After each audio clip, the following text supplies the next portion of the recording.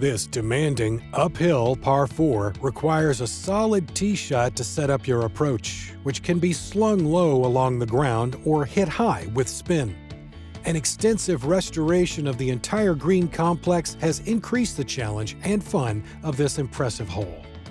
The imaginative green contours make for some fascinating pin placements.